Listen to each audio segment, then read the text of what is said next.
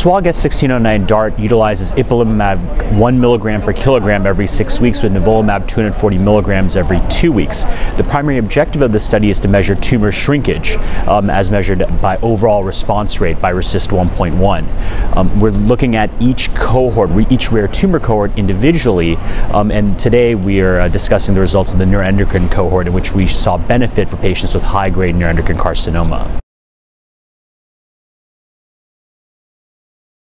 What we found in this cohort of non-pancreatic neuroendocrine uh, tumors is that patients with high-grade neuroendocrine carcinoma, these are tumors with a high proliferation index, regardless of if they originated in the lung, the gut, the gynecologic tract, or as an unknown primary, had a 44% overall response rate uh, compared to patients with low or intermediate grade tumors in which the response rate in our cohort with ipilimumab plus nivolumab was 0%.